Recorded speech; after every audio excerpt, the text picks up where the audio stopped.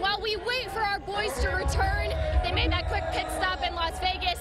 These fans are on their feet. I want you to hear from some. To these people. Thousands of people out here. You've been out here since 8 in the morning. Yeah, it's it's worth it, honestly. I'm just so happy we finally got it done. It's great. Tell me about the game last night. So, so, it was awesome. Absolutely